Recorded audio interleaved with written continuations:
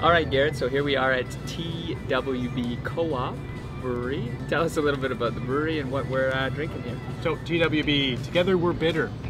It's a co-op brewery here in the Kitchener-Waterloo area. So a very unique style of brewery simply because it is a co-op. And for those who are not entirely sure what a co-op brewery might be, it's essentially a bunch of people that put together a brewery that are worker owners.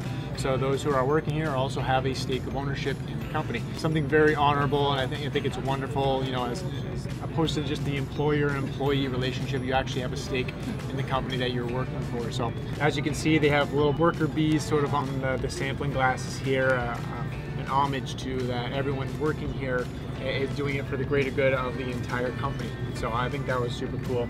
Uh, we have a great little selection of uh, the beers they have here. I think one of each is really what we went for. A number of different stuff. They do a lot of traditional styles here. So you're going to see APAs, IPAs, Saisons, as well as Kaltwasser, which is actually pretty unique.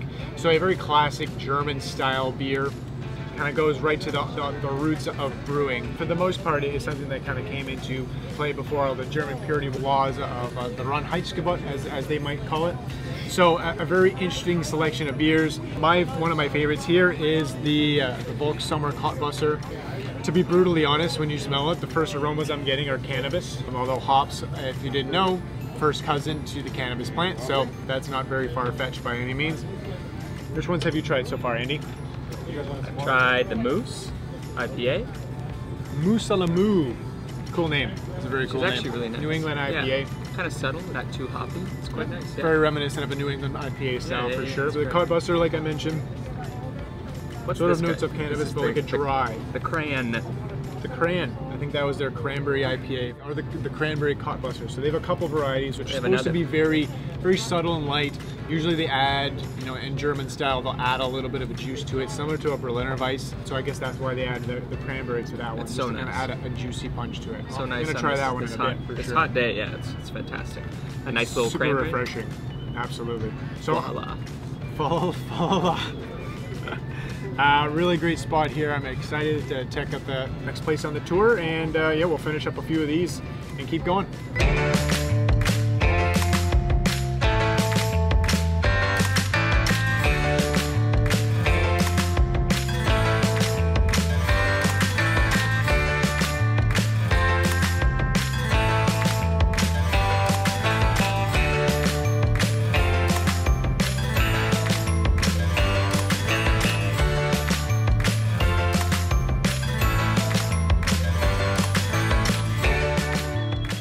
Hey everybody, thank you so much for watching that video where we visited TWB in Kitchener, Ontario. If you like that video, might as well hit that like button, hit subscribe as well.